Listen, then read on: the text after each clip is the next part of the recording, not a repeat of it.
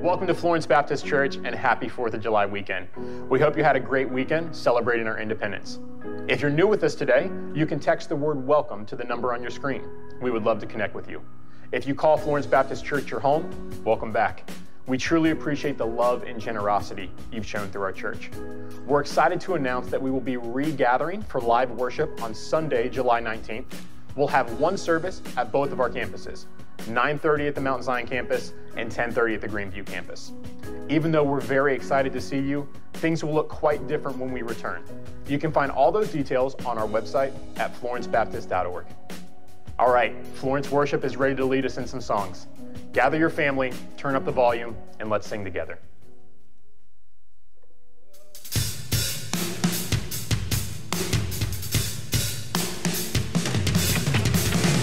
Well, good morning, Florence Baptist Church. Thank you so much for joining us today. We're going to worship. So let's go ahead and lift our hands, lift our voice in our home today. Here we go. Before the world knew the plans for me, before my heart believed you came to my rescue, and now I'm found in love.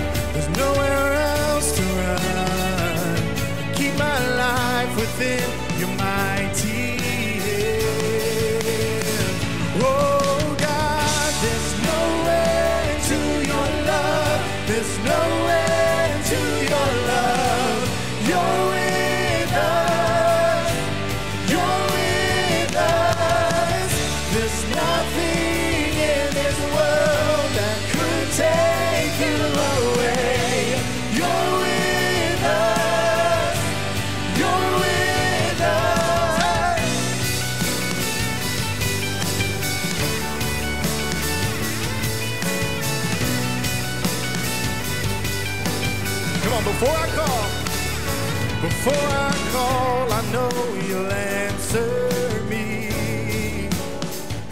You make a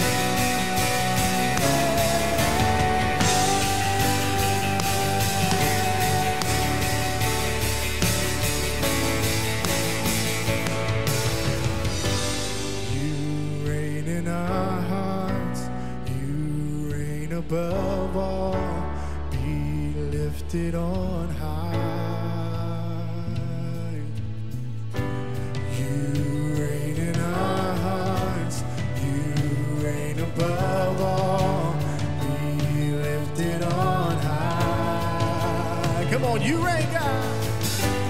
You reign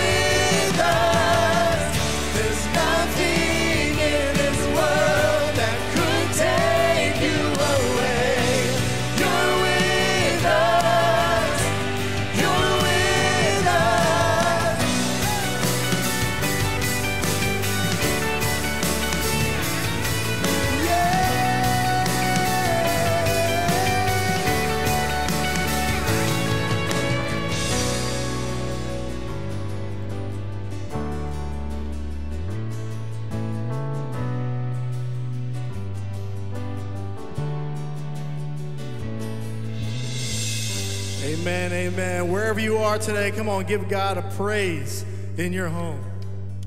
Yeah. We're going to continue to worship today. We're going to sing We Go from Glory to Glory. We are forever changed. We thank you for that, Lord Jesus. Come on, let's continue to worship Him.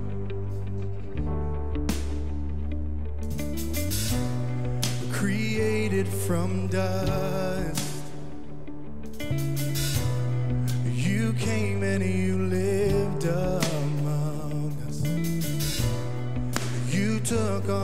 frame.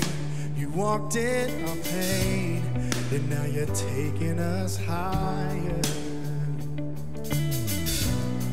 You stepped into time.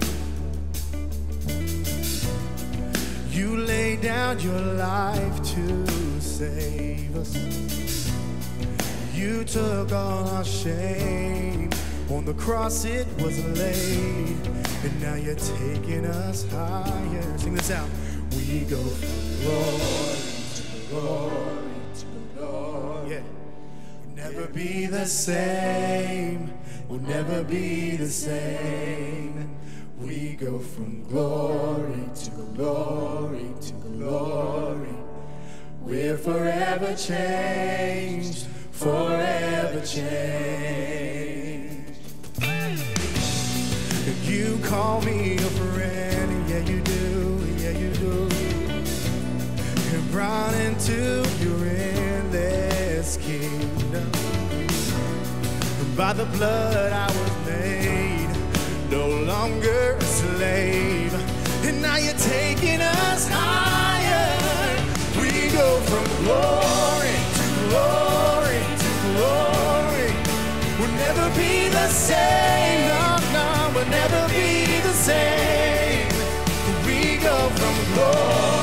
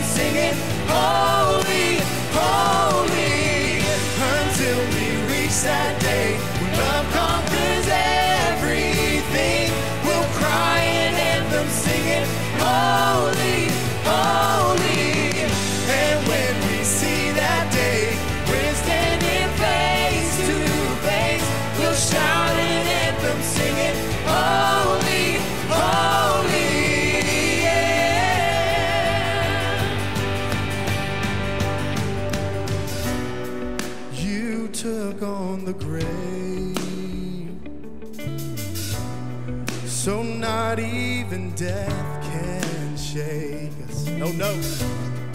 The victor has won, and heaven has come, and now you're taking us higher. Come on, bring it up. And now you're taking us higher. We go from glory to glory to glory. We'll never be the same. We'll never be the same. Take us higher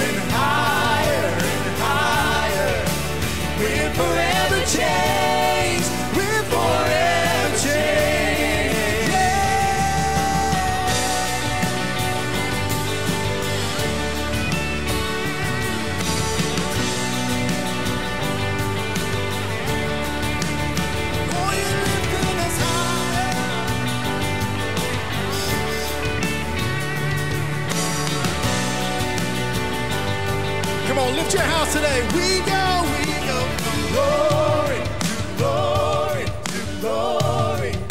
We'll never be the same. We'll never be the same. you take, you take us higher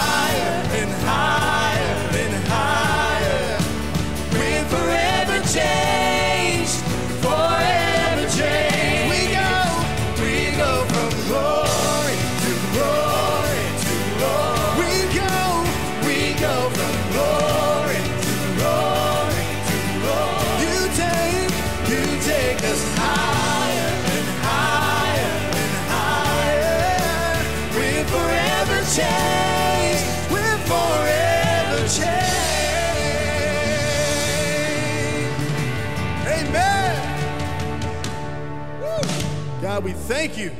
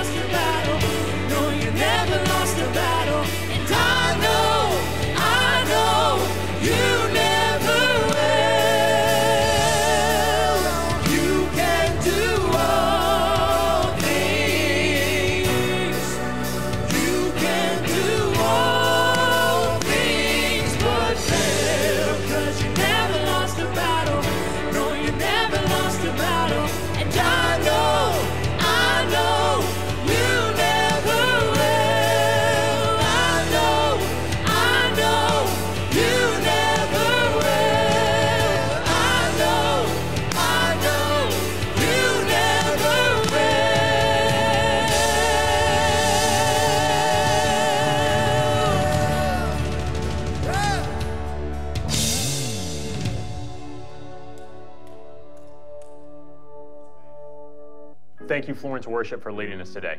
And thank you, church family, for singing along with us.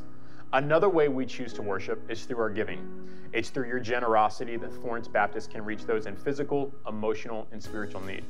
If you'd like to give towards the mission of Florence Baptist Church, you can find multiple ways to do so on your screen.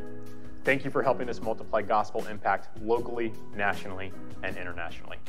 We're thankful that God gave Pastor Travis a powerful word on the biblical response to racism these past two weeks. Today, we're jumping back into our scheduled series from the book of Jude called Worth the Fight. Hey, and good morning. Welcome to Florence Baptist Church. Happy Independence Day weekend to you. And if you're one of those people that loves fireworks, you know, if your neighbors are like my neighbors, you get to enjoy fireworks for three more months at random times and, uh, you know, scares the kids and shakes the windows of the house. And, uh, you know, you got to put your pets on medicine because they're freaking out. But uh, I hope you've had an opportunity to slow down and really think through even what we're doing today, even though we are only gathering in an online format.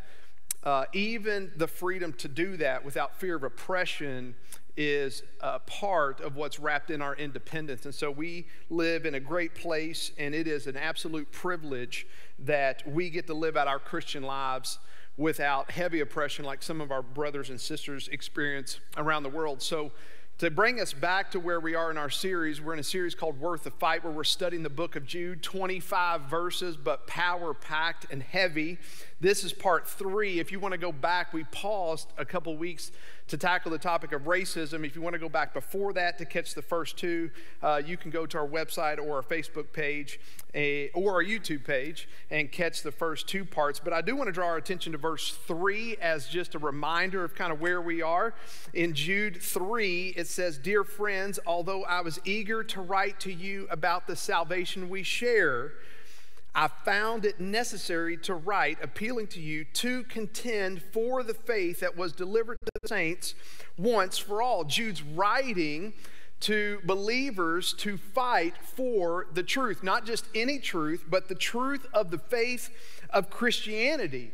And it was true then to believers he was writing to that they had kind of fallen asleep on the job, and it is concerning us even today. There's an opportunity. There are many churches, there are many Christians who are sleepy and kind of spiritually out of shape to fight the kind of fight that Jude's writing about here that we would contend for the faith. And he goes on in the next verse to talk about who he's necessarily fighting against.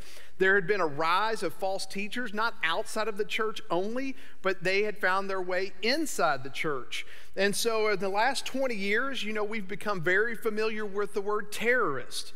And we tend to think that terrorism is outside, but over the years, we found that there is terrorism not just outside of our country in foreign lands, but it's here and it's within our bounds. And that's the same way that Jude's writing. It's not just that there was false teaching outside of the church, he's writing more about a kind of spiritual terrorism that is found not outside anymore, but within the church.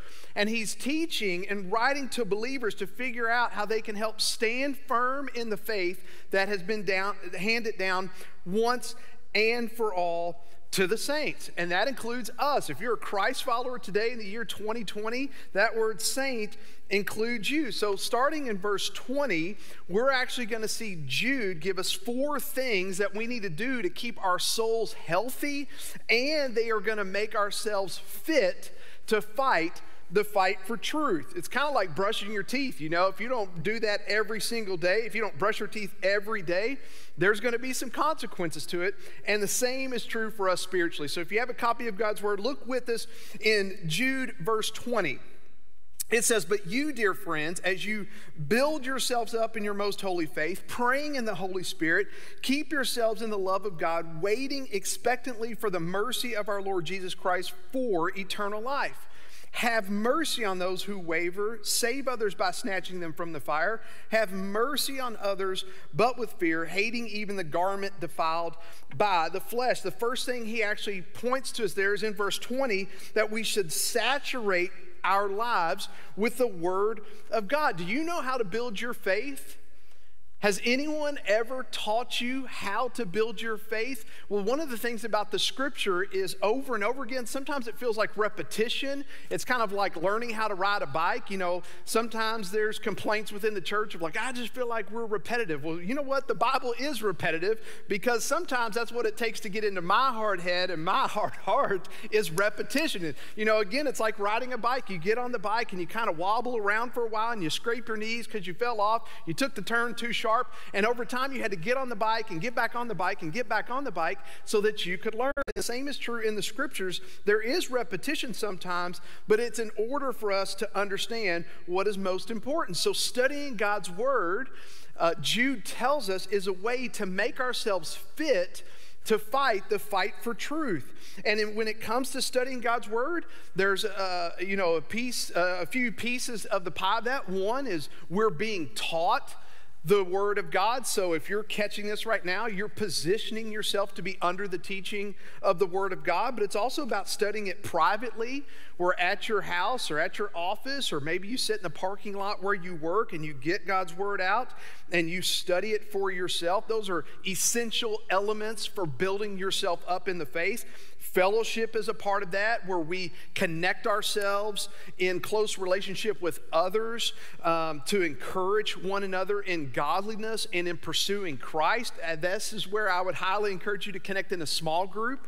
If you're only just kind of on the fringe of Florence Baptist Church and you're needing help in really staying strong in the faith, I would encourage you the next step for you is to get in a small group. And currently we have small groups that are meeting in person in social socially and safe kind of ways. We also have small groups that are meeting virtually online. And, and if you need help with that, you can email us or call us, and we would love to connect you with the small group. But then obedience is a part of that, and we're going to see that in a minute.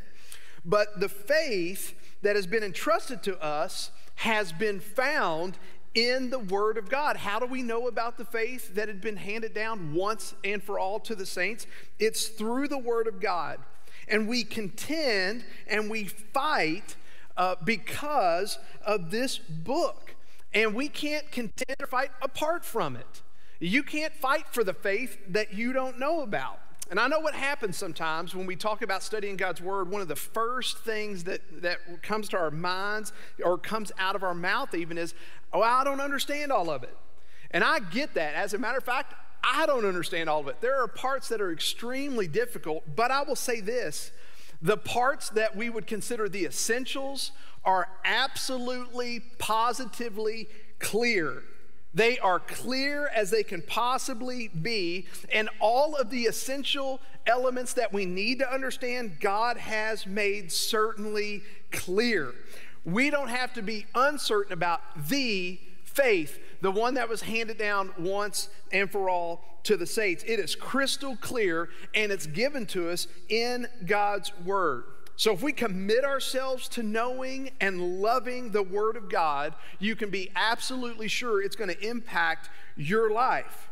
Now, we're not always ready to fight for the faith, and I would say that's because we don't know what God thinks about life. We haven't spent enough time digesting the Word of God, marinating our mind and heart in the Word of God, and sometimes we get stumped on some things, not because God hasn't made His opinion known on the topic, it's because we haven't spent the time to figure out what God really thinks about that. And so we need to saturate our lives in the Word of God. And I know that's tough because it takes discipline.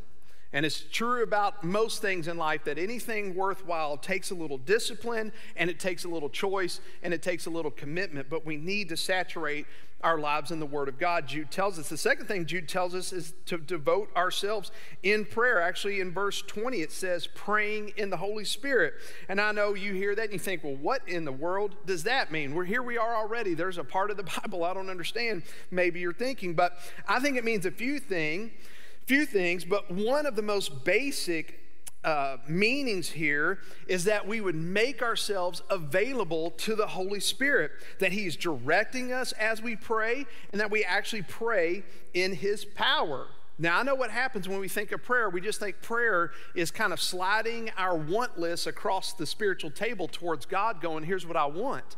But that's not what prayer is primarily about. It's not primarily about getting from God. Prayer is primarily about relationship. We pray in order to know God's mind and his heart. And our hearts and our minds uh, align with his through the avenue of prayer, particularly prayer based on the truth found in God's word. They actually fit and connect together. And what that does is over time, as we spend time studying God's Word, as we spend time praying and communicating with Him, all of a sudden we find our hearts and our minds aligning with the heartbeat of God. And I'm telling you, we can actually rejoice in God regardless of the circumstances we face when we align our lives to His. So, what does that phrase in the Spirit mean? Well, it's not necessarily a mysterious thing. It means simply to pray in such a way that the Holy Spirit is guiding you and me in our prayer lives. So, when you pray, His Spirit is moving us and it's guiding us. His power is what energizes us and motivates us and enables us even to pray and to communicate to our Heavenly Father. So, we pray by His power and according to His direction. So, praying in the Spirit is closely aligned all the time with the Word of God. They're never going to say, uh, uh, they're never going to contradict each other. God's Word and His Spirit are always going to say the same things because they're both aligned around His truth, and He is truth. And so when we're praying in the Spirit, we are aligning ourselves with God's Word and the Spirit, and together, uh, the way it, it uh, manifests itself is that the power of the Spirit is offered to us through the promises of God. And they go hand in hand, working together. Now, here's the deal, and I'm going to be honest uh, prayer is actually probably one of the most neglected spiritual disciplines. And here's the reason why. Uh, you talk to people, how's your prayer life? Well, you know, every once in a while we pray or whatever, but here's what that says we struggle with prayer because the truth is we struggle with self reliance. Prayerlessness is a major indicator that we're banking on ourselves more than we're banking on God. Essentially, what we're saying is, God, we don't need you. And so when we're praying in the Spirit, we're not praying selfishly. Uh, we are letting God guide us. But if we're not praying, we're basically demonstrating a massive amount of arrogance towards God where we just look at Him and say, we're kind of running our own lives. And so prayer for us is important because it is the means for activating the power of God in our lives. Then the third thing Jude shows us in verse 21 is he says, keep yourselves in the love of God. And so this is about willingly and joyfully obeying the Lord. Now, I would say this is probably uh, in this section that we're studying now, probably one of the most understood, mo- one of the most misunderstood uh, topics of this text that we're studying today. And so I want to make sure you listen closely. If you're distracted by something else, I'm going to ask you to lean in because what we don't want to do is to perpetuate further the misunderstanding. Jude is not saying here that we need to act in a certain way so that God will either love us more or so that God will continue to love us. That would actually fly in the face of the rest of Scripture and is essentially a works based salvation where there are things that we have to do in order for God to love us. That's not the case. The Scriptures say the exact opposite that God has perfect love, that God loves us regardless of what's going on in our lives and uh, is, is leaning towards us in, in our relationship with Him. And so this isn't about works based salvation. We are saved by the grace of God. We are saved because God did something that we couldn't do for ourselves. And so God loves us unconditionally. But this says, keep on loving God. That is the essence of what this passage is saying. It, this is, it, we can even ask ourselves, oh, is this like about an emotion? Uh, no. Is this about feeling a warm affection for God all of the time? No. I mean, in your human relationships, regardless of what that is a friendship or your marriage or the relationship between a parent and a child do you always have every single moment of every single day a warm, loving affection or emotion for that other person? No. And it's true on our side of the relationship with God, not on His side, but on our side, we don't always have this warm, fuzzy inside of us. So, what does this really mean? Well, the word agape that we find here means more than anything else sacrificial servanthood. It means for us that we just keep on serving the Lord daily. And you think about putting all those elements together. If we're living our lives saturated in God's word, if we're living our lives being prayed up, not just praying so that we'll get stuff, and then we're turning around and doing what God says, we will have the kind of relationship where it's our natural desire or our want to, our wanter. That's what I call it. Inside of us, we have the wanter. And the wanter inside of us now wants to desire to follow God. And I know what happens. Maybe you're sitting there thinking, you're saying, well, sometimes I just don't really feel like obeying God. I don't really want to obey God. Well, I'm just telling you, when I find that in my life where I kind of sense that, I don't really feel like following God right now. You can almost always trace it back to a lack of prayer in our lives and an avoidance of God's word in our life. We're not marinating in the word of God like we should. And I would say all of that simply goes back to relationship. This is about loving God, and all of those elements kind of flow together in relationship. And I know we hear the word obedience and obey, and it feels like heavy language, or we've got something conjured up in our mind, maybe from a, a heavy handed dad who was going to force obedience or something like that. But our Heavenly Father doesn't function that way. God, when it comes to the obedience factor, isn't really looking for a, well, I got to do it.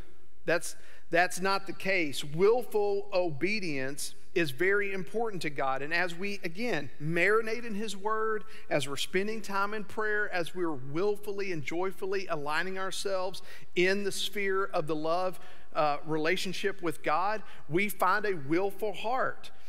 And so I'm not saying there aren't days, though, right? There are, there, are, you know, I'm not saying there aren't days where you do the right thing because it's the right thing.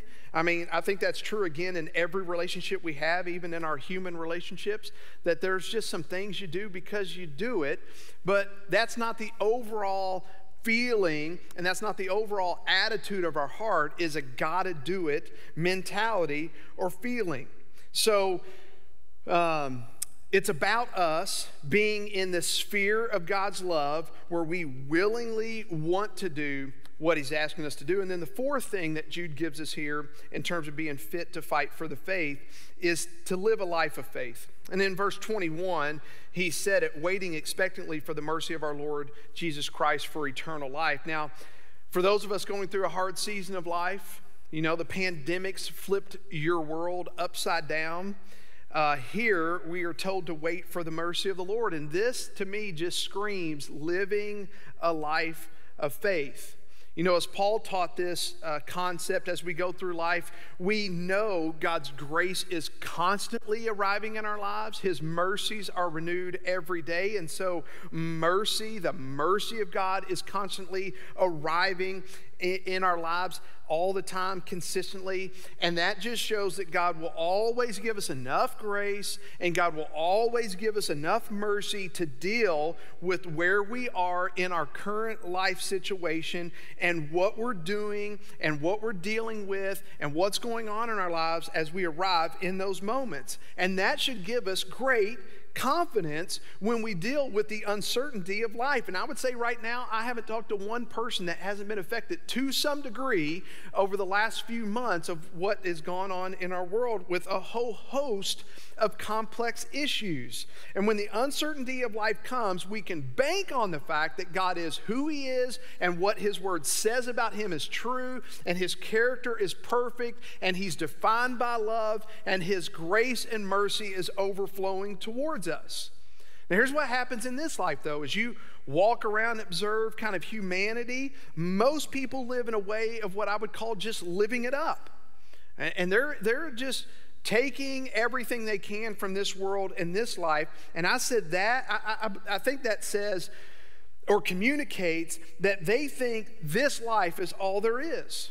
And that's simply not the case. There is more than just this life. This life, according to God's holy word, pales in comparison for what's to come. And even that gives us a constant feeling of security in this life, in the, the, the realm of chaos of which we live. We can bank on the fact that this life isn't all there is. There is more to come, and there's great splendor, and there is great glory that we're going to be a part of someday. There is so much more waiting for us on the other side of this human life. And actually, in that kind of understanding for what God has promised us, that is why now in this life we can live in such a way where it impacts the world around us. That is the foundation on which we can stand, where our lives mean something. That's where our lives begin to make a difference of the world around us because we're living lives based on a different foundation than the rest of the world that is falling apart in utter chaos. So, Jude, now, after he gives us those kind of four, what I would consider like locker room speech kind of elements, he now turns his attention to doubt. And I warned us early on, not warned us, more just kind of gave an advertisement that Jude was going to tackle the topic of doubt. And here in verse 22, he turns his attention to really three kinds of people three kinds of doubters. And so, really, he goes from there is the faith the truth, hand it down, and deliver it to the saints once and for all. We're confident of it. It's clear in Scripture. It's plain as day on what the core elements of the faith are. They are not difficult to understand. Sometimes they're difficult for us to receive in our lives and to wrap our minds around them in terms of accepting them to be true, but understanding what they are is not that difficult. And now he transitions and talks about what I think is just part of real life, and that's doubt. And there's three kinds of doubters that he points out to us. Doubt is one of those things I would say I wish the church would talk about more often. Uh, oftentimes, in the realms and circles of Christianity, we haven't talked about doubt. We typically try to hide it.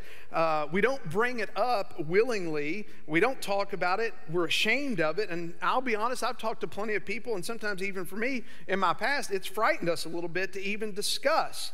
But I think it's important that Jude deals with this topic because I think this is just real life. And so in verse 22, he says, Have mercy on those who waver.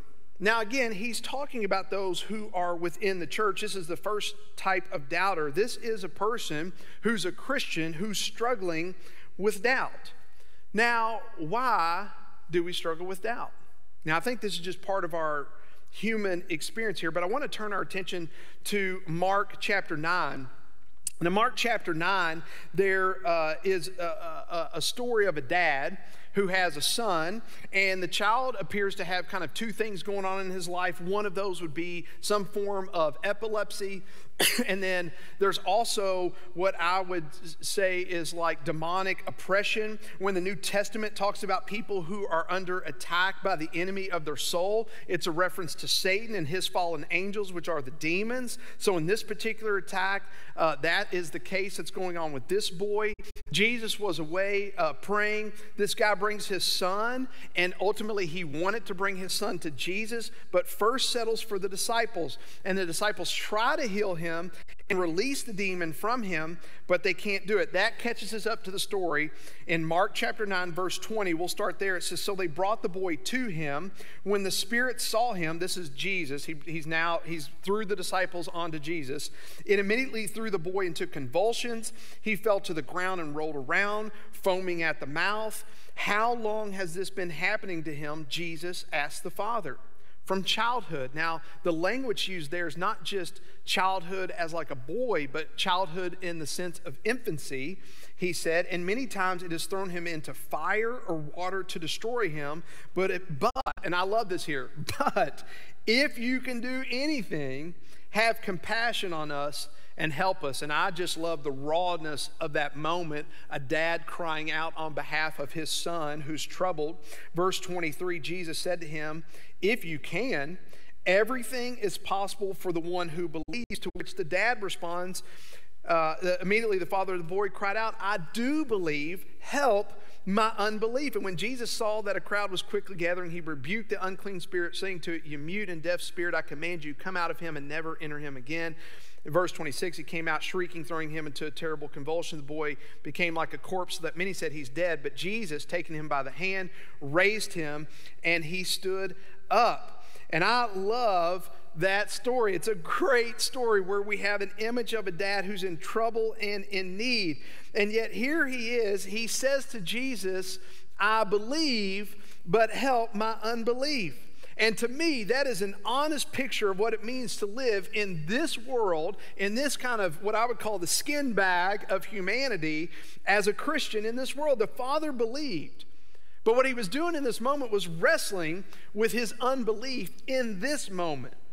And I think for us, the Christian journey of belief is a wandering road, and you need to pay careful attention in your spiritual journey, or you'll get a couple of wheels off of the side of the road of belief. And that doesn't, I'm not talking about any kind of reference to losing your salvation. I'm just saying there are things that happen in our minds, and from this side of eternity, our human perspective looking up to God, going, What in the world is going on here?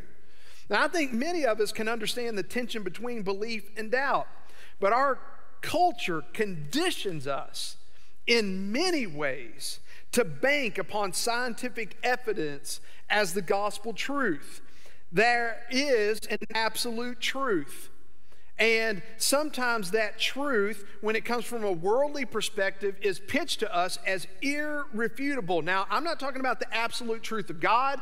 I'm not talking about the absolute truth of the Word of God. I'm not talking about the absolute truth of of the faith handed down once and for all to the saints. I'm just talking about things that come out, reports that are done, studies are made, and all of a sudden the scientific world goes, boom, this is absolute truth, and no one can argue against it. That has been pushed in our culture. We have been taught that reproducible proof and logic are like gods in that they tell us what the truth is. But the Bible speaks of a supernatural being, a holy God who is independent of, uh, uh, of everything else. He stands alone on his own. He has done miraculous events throughout human history, and sometimes his truth flies in the face of human logic. And our world just doesn't have a place for that. The Bible says there is a God whom we do not completely understand, as I talked about before. If your mind can wrap around every element of the God of the universe, that's not a big God, and that's not the God of the Bible. If your intellect can wrap around the almighty God of the universe, that's a really small God. And that's not an insult to your intellect. That's just the fact of how God, uh, how big God is. And, and, so there's a part of it we don't completely understand him. He is one who is beyond our understanding. For example, the Bible says he is eternal. And even the concept of eternity is somewhat difficult for the human mind to wrap around because everything we observe in the world around us has a beginning and an end. We don't even have a good reference point for eternity. What do you know of in our experience that is eternal? That doesn't have a beginning and it will never have an end. What else is there other than God? We can't understand that perfectly. The Bible tells us He's one who is perfect. What in the world is perfect in our world? Have you ever tried to go hang, uh, hang, wallpaper in your house? It's kind of trendy, it's coming back. You probably did it 30 years ago, or, or if you didn't do it 30 years ago, maybe you're doing it now, but not so much in the middle. You were doing that long project of scrubbing that little goo on the wall to peel that stuff off, but now it's trendy again. Have you ever tried to go put wallpaper on the wall? What do you find out? There's no perfect wall. You can measure and do it, it's just not perfect. And there's nothing in our world which we can look around and get an example that would help our minds understand the level of perfection, except that is true of God. So it's hard for our minds to wrap around. Or what about the fact that God is everywhere simultaneously? How do you understand that? There's nothing else in our world that is everywhere simultaneously. He's all powerful. What else in our world is all powerful? That holds he holds everything in his hand and that means everything. There's nothing else to compare it to. He's simultaneously loving and just, and they work in perfect harmony together. What else is like that in our human experience? There's nothing. So, what the Bible teaches about God, we can barely wrap our finite minds around because we're trying to comprehend something that is infinite. We have finite minds with finite understanding, but He is infinite. And so, what the Bible teaches about this, this holy, amazing God of the universe, our minds barely get around. And then think about this is that when we get finished with this life in this world and in this experience, we get to stand in all of that. I really do believe part of our experience in the life to come, we will stand in all of that God. And it's going to just be amazing. It's going to be the word that we've tossed around, it almost means nothing anymore. It is going to be awesome. But our culture has no room for that. Our culture has no room for the supernatural, especially not the supernatural that we read about in the Holy Scriptures. Uh, our culture has no room for that. Our culture has no room for the eternal. Everything is about right now. And our culture absolutely has no room for a holy God who is perfectly loving, perfectly just, full of grace and mercy, all perfectly intertwined together. Our culture has no room for that. But I can tell you this I've sat with people with the stack of books of good evidence for the belief of God, and you just cannot get out of those conversations. I even eventually tell them, I could have every apologetic book written on Christianity, we could walk through every page, but at the end of the day, there's an element of faith that has to come from you where you are believing in the God of the scriptures. Faith demands more than logic, it demands more than our, simple understanding. Because in it, as we look at the faith of the scriptures, faith has room for mystery and wonder. And we can believe in Jesus, and yet at the same time, we can have thoughts of doubt that kind of course their way through our minds. And it's hard to understand sometimes. Belief is both trusting the mystery of God along with the well formed logic of His reality. Belief is built on hard evidence for the reality of Jesus and the truthfulness of the Bible, and also at the same time, unanswerable questions that we simply can't grasp. We can't wrap our minds around it.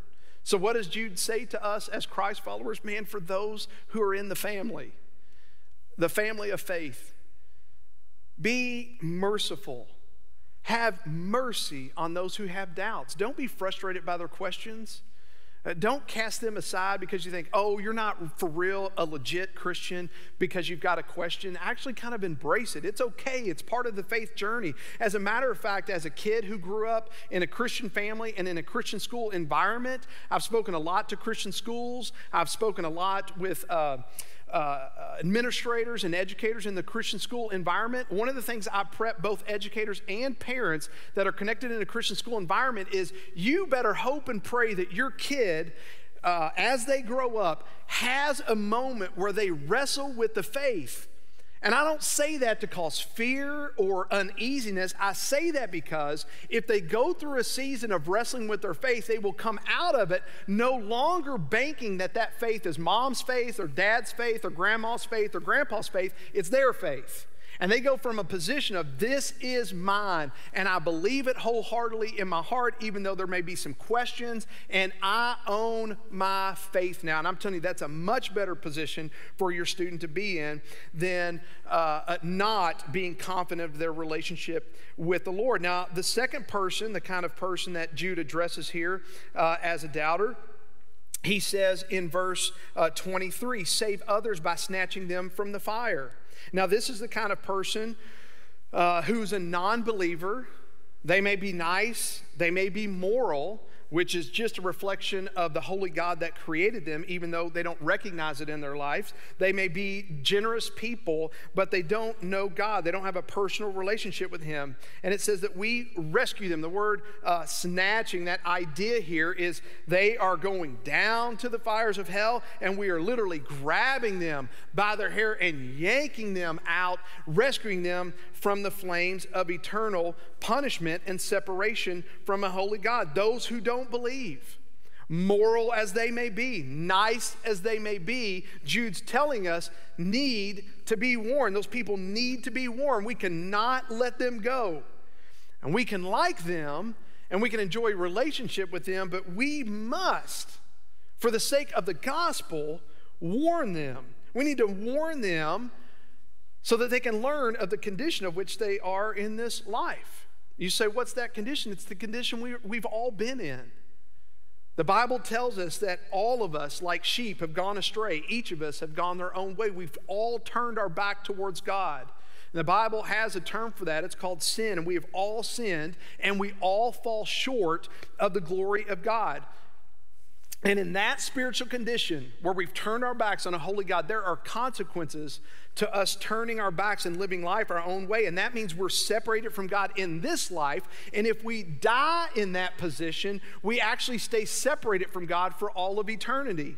And the Bible doesn't describe that as a very pleasant position to be. The Bible says there's a real literal place. If you die in the position separated from God in this life, death is a defining moment that you spend eternity separated from God forever. You actually reap the consequences of your decision to go, I don't need you, God. And the Bible describes that as a place, as a lake of fire, of eternal torment. It actually says it's a place where the fire is never quenched and the worm never dies. That doesn't sound great.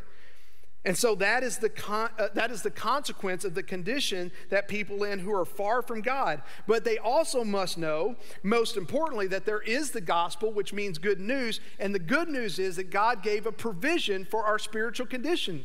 That even though we turned away from God, God's love compelled him to move towards us. And his provision came in the form of his one and only Son, Jesus Christ, who lived a perfect life, who met all the demands of the perfection that God the Father has. He died on the cross for our sin as our substitute. He took our place, He took my place, He took your place. He died for the penalty of our sins. And as we put our trust and faith in Jesus Christ, guess what?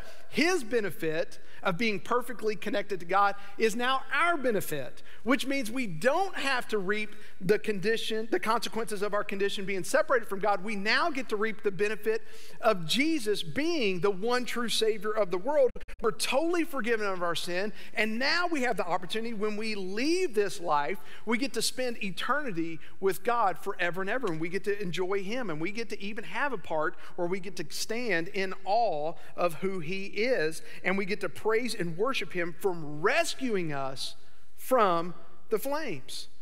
And Jude warns us here we've got to warn people, we've got to tell them that they can be rescued.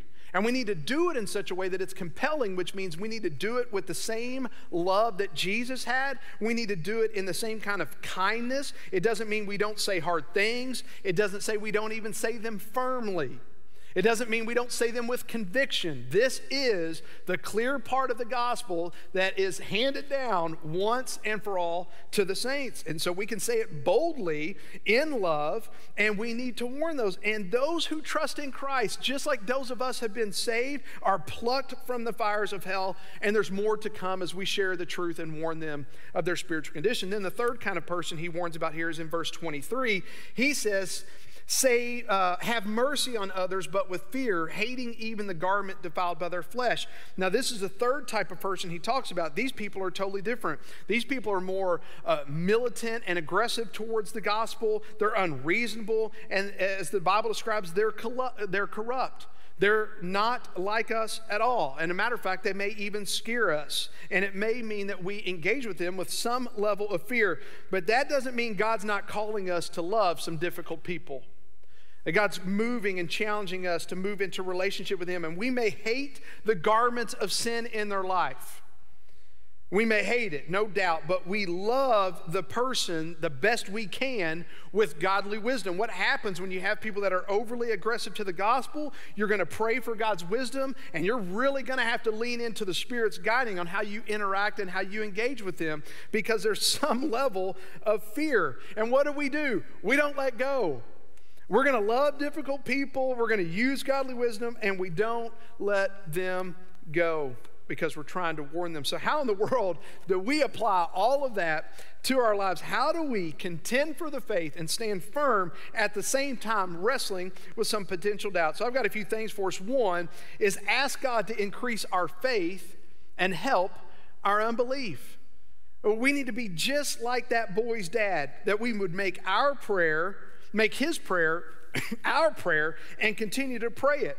And I'm saying that's a really good prayer to ask God for. God, you are the God of the universe. You know my heart. You know me better than anyone. God, I have faith and I do believe. God, would you help the parts of me in my unbelief? Would you help me fill the gaps there, fall more in love with you and trust you even more? But secondly, is this read your Bible carefully and pray and prayerfully.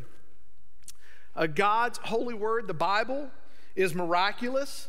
It has a power that is uh, that exists because it's the Word of God. It's unlike any other book. You can never exhaust it. You may read the Bible cover to cover every year, and yet every single year moving forward, you're going to learn something new. You're going to be challenged in different ways. It is an alive book.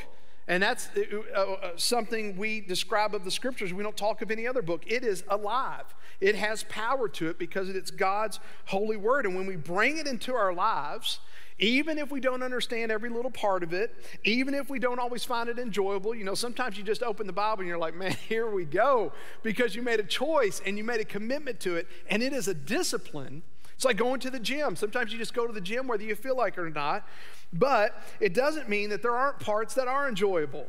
But in the midst of parts we don't understand, it's a discipline. And I'm telling you, you will be shocked if you choose to marinate in God's word on a regular basis. You will be shocked by the power that is expressed in your life, the way that God's going to navigate your heart, the way that He's going to align your thinking patterns more to His, the way that you're going to see God kind of come through in the moment of your unbelief. And so we need to read it carefully, even if we don't understand it all. The third thing is this we need to discover the amazing evidence that there is for the truth of Christianity. You know, one of the things about Christianity, oftentimes from uh, scholarly perspective, as the world would call them, is like, oh, yeah, those Christians, they're just kind of dumb and they check their brains at the door. No, we don't check the brains at the door. And what I love is if you actually go back and study some of the most brilliant minds that have existed in human history, you will find that there are several, and I would even say a lot of people who were geniuses for all intensive purposes, and they had a heart for the God of the scriptures. They were Christians. And they actually used their intellect not to harm humanity, but to enhance humanity because they were motivated by their personal faith with the God of the Bible. And so, I mean, we need to be on the hunt for good, hard, logical evidence. We don't have to check our brains at the door. And there is good, hard evidence for Christianity, and you can keep finding it over and over and over again. You say, How do you do that? Well, first of all, I would just go back to the fact you need to read your Bible. You need to have God's word as a regular part of your daily and weekly diet. But aside from that, there are tons of resources. I'll just highlight two quickly that are really good. One is rzim.org. Uh, that is uh, uh, organization by Ravi Zacharias. We unfortunately lost him earlier this year. He passed away from this life. He is enjoying his full reward now with his Lord and Savior. He spent his life uh, fighting and defending the faith of Christianity. And then also, I would just turn your attention to a local ministry we have here that, that's close to us is Answers in Genesis. It's an international ministry, just so happens to be home based close by us. AnswersInGenesis.org is their website. They have tons of resources, and there are many, many more. They do a great job of pulling out the logic and the evidence of the reality of Jesus Christ. We're actually told, in, we're told in, uh, by Peter that we should be prepared to give an account for what we believe. And so you read your Bible and do your research so you have good evidence stored up so you can share it with others. And I would just kind of mark here and highlight here parents, this is really important for you. Are you able to pass on a robust faith to your kids, to the next generation? Are you ready as your kids ask questions? And I'll tell you this there are sometimes my kids ask me questions, and I'm like, How in your little brain did you come up with that question? Even the, the, the intelligence it would take to come up with that question is hard. And sometimes I tell them, Dad needs a little time. I don't have a good answer right ready at the end of my tongue, but it doesn't mean I can't get good answers. But we need to be prepared to give an account. And it means we do have some stuff stored up. There are many questions we can answer in the moment. There are some we're going to have to go, wait a minute, I need a little bit more time on that, but we shouldn't be ill prepared. And I'm just saying, parents, are you ready to give your kids an anchor in their life? That they can hold on to, that they can be grounded in until they pass from this life until the next. Is it going to help them uh, uh, stand against the storms and the wind of doubt and unbelief and intellectualism that flies in the face of the God of the Bible sometimes? Are you giving them a good, robust faith?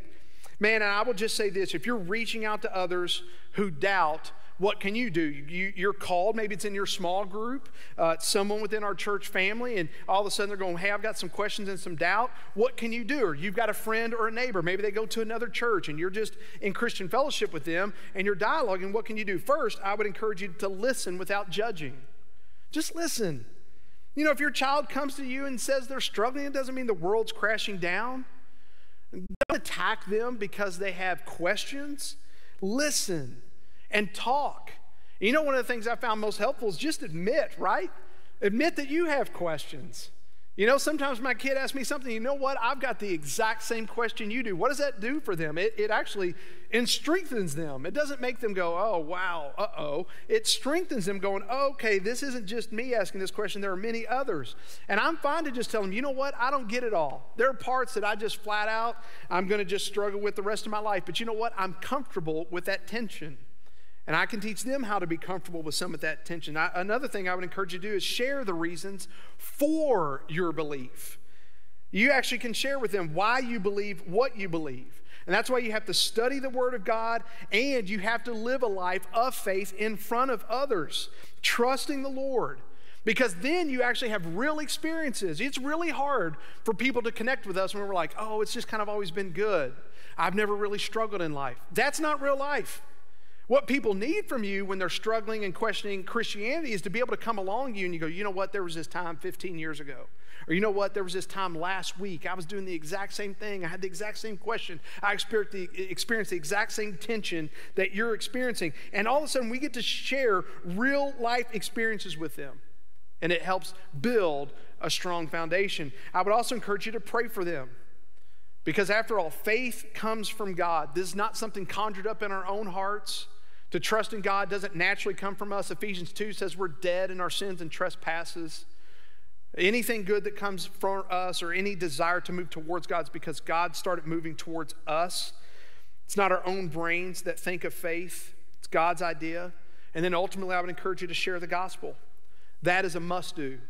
We must do that. If we do anything, we need to share the good news that God's created a way to be made right with Him because that is the power of God for salvation. The Bible tells us the good news. We are lost. God has acted on our behalf and calls us to faith to believe in what He has done for us in sending His Son, who was perfect, who died on the cross for our sins, three days later raised from the dead, proving that He is the Savior of the world. And I'm just telling you, as we do that, there will be some people saved like escape, escaping the flames of hell. And I'm just going to encourage you now. If you're sitting there and you go, man, that is me. I'm sitting here right now and I want to trust in Jesus Christ. I want to put my faith in Jesus Christ. I'm going to encourage you to text the word talk to the number on the screen, and that will put you in a conversation with our staff where we can talk to you more. You've got questions. We're not afraid of questions here. God is big enough for all the questions we have. And sometimes we may have to, to uh, work together to find answers, and we may have to read some things together or ask some others. But I'm telling you, we're not afraid of questions because God's not afraid of your questions either. He is big enough to handle all of that. All right, let's pray together. God, we love you. God, thanks for Jude's writing his, Jude writing his letter so that we can know how to contend for the faith. And increasingly, day by day, standing up and living a Christian life is becoming more and more difficult here in the West, but it is absolutely brutal for our brothers and sisters in Christ in other parts of the world. God, would you strengthen them today by your Spirit guiding them in their lives. And God, for us, would you allow us to be strong contenders while we are still in an age where we can really live out our faith without intense persecution? I'm not saying there's not some level of persecution, but in our country, we almost have the doors wide open to still publicly live our lives of faith without major persecution. God, may we be found faithful in that, that we wouldn't shy away, that we wouldn't grow lazy or sleepy, or that we would be spiritually unfit fit. Instead, God, we want to be found faithful. And so, would you help us, God? We believe. Help us in our unbelief and help us help others in their journey to grow up, to love you, and to live lives uh, of obedience towards you. God, we are praying for our community here and with our missions partners around the world. Will we be able, God, even today in this moment, would we be able to see uh, boys and girls and, and women and men trust in you and commit their lives to you? Even now, someone watching, God, would they have their heart turned towards you to seek a personal relationship with you? God, we love you. In the powerful name of Christ, we pray. Amen. Thank you, Pastor Travis, and thank you for joining us today.